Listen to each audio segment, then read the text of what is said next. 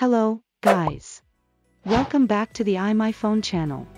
Today, I will show you how to run Android apps on your Windows PC and even play your mobile games on a PC without emulators.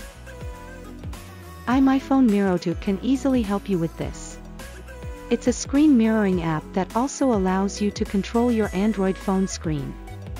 Just follow the simple steps to run Android apps on Windows PC. Step 1. Go to iMyFone's official website, myphone.com to download MirrorTo in the Utilities category. Step 2.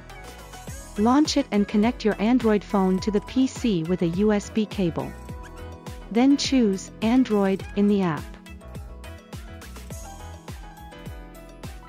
Step 3. On your Android, go to Settings, About Phone, Software Information click Build Number 7 times. Step 4. Then you can see developer options in Settings. Tap it and enable USB debugging.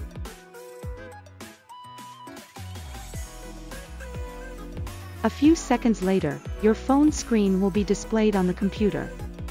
You can control your Android phone from your computer easily without any lag using its features of mouse control and keyboard mapping.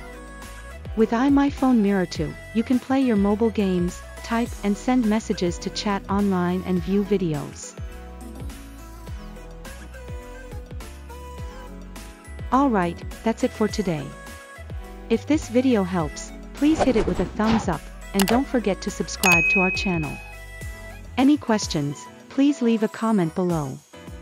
See you guys in the next video.